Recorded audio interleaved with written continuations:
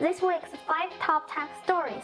The tech world has been busy, scary, and super exciting this week. Let's take a look at this week's 5 top tech stories with BTW.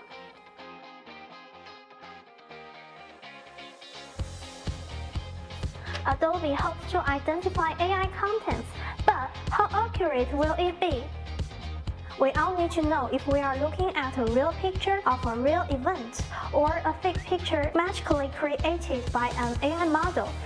Well, Adobe, in cooperation with numerous partners, including BBC, Microsoft, Nikon, and Truepic, wants to help with a solution called Content Credentials. This system allows information about the source of images, videos, or PDF files to be added to metadata, indicating whether AI algorithms were used in the creation or editing process. But it turns out, the solution may not be tamper-proof. Find out more in the link below.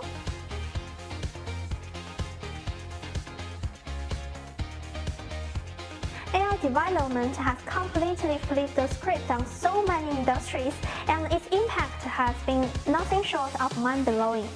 With the looming shadow of AI over the job market, Vinod Khosla, the Silicon Valley billionaire investor and co-founder of Sun Microsystems, has some such advice for all your college students out there.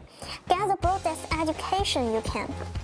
Speaking at the Wall Street Journal Life Technology Conference, Khosla drove home the point that in this fast-paced world, it's crucial to arm yourself with well-rounded education that can help you stay ahead of the curve.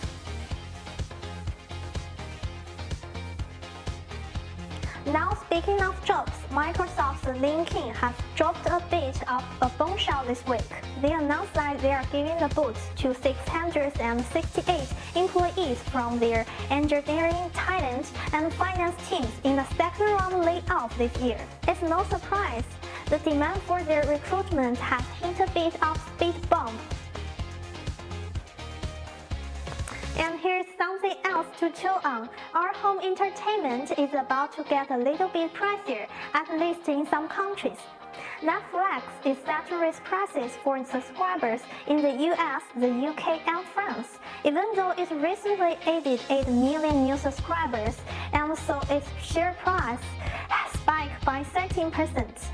Amounts of blockbuster screen time will still be cheaper than most evenings out, however.